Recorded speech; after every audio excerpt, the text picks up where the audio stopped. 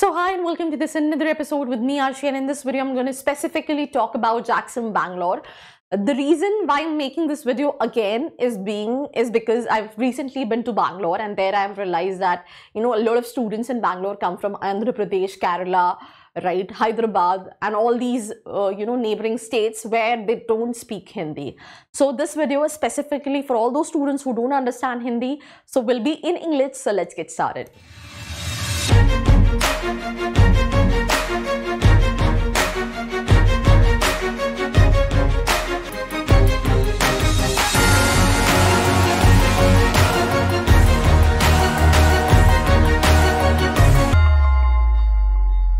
So I hope you guys are doing it because I'm doing absolutely superb. I'm talking about Jagdish School of Management, which was earlier known as IFIM. Now currently they also have IFIM and uh, I don't know, they rebranded JAGSOM. I mean, I still have confusion. Let me just clear that confusion. So earlier they used to offer MBA uh, from IFIM and PGDM from IFIM, right? They said that they have started PGDM, they have reframed IFIM PGDM with the name of Jagdish Sheth School of Management, which is still confusing. So let's not get there. So Jagdish Sheth School of Management, um, Sir Jagdish, I mean, he is, yes, Padma Shri awarded and he was the initial faculty of IIM Ahmedabad, IIM Calcutta, so sorry, IIM Calcutta. And that is the reason, you know, his name play a very vital role in terms of marketizing the college. But after interacting with these students, what I have kind of analyzed that students haven't interacted with him so much.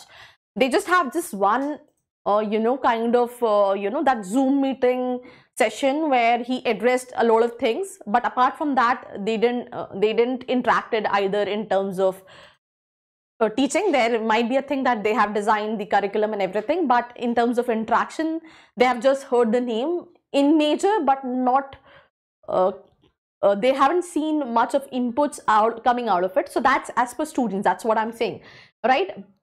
So this is basically about the college. This is the accreditation AACSB accreditation SAC AIU, AICT approved NB accreditation. So they have all these accreditations and affiliations. They have this global partner school of international MBA, which is USA, Australia, France, luxury management, sports management, design management from KEDGE Business School Paris. So all these collaborations they have. Eligibility, they accept CAT, XAT, CMAT, and they even have their own entrance examination, I think, which is not mentioned here. That's called, yes, it's mentioned here. It's called JAGMAT. So let's say if you don't have score in CAT, XAT, MAT, I mean, you can write JAGMAT and you can get through the process. The admission process is not that difficult.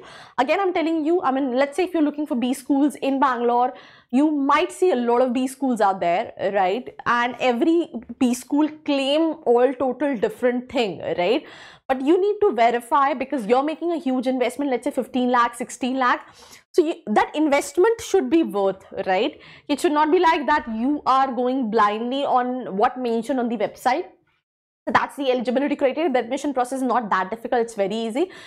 Yeah, so they offer PGDM General Marketing Major, Finance Major, Analytics and Digital Business as a specialization.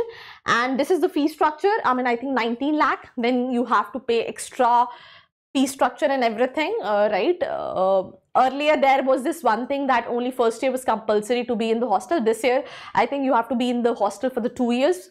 And uh, the campus is not, I mean, very big but it, it's good right? I mean you have all the facilities which is required where you know they have department for ifim also they have department for JAGSOM and sometimes the classes for ifim and JAGSOM are even common but it is with some classes not with majority of the classes so fees include boarding and lodging in hostels. So I mean, I think the 15 lakh investment is something in which everything is included. So that's this.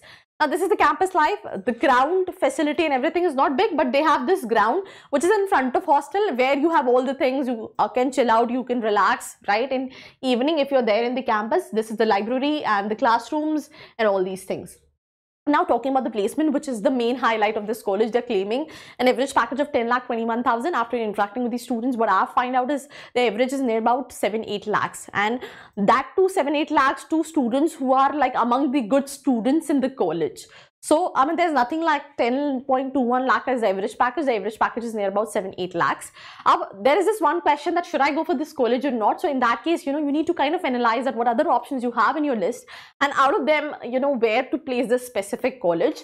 And if you want to know more about that, reach out to the students or you can even do one thing fill up the profile analysis form link in the description box where you can get detail about all these colleges and everything so these are the scholarship which is being offered by the students right I think uh, 4 lakh scholarship that is for general category and uh, then we have the scholarship called EWS scholarship that is 10 and 50k needed to be paid towards registration. That's pretty much about this episode. Do not forget to like, share and subscribe. I hope you liked this video. For more such videos, keep watching our channel. And do not forget to like, share and subscribe.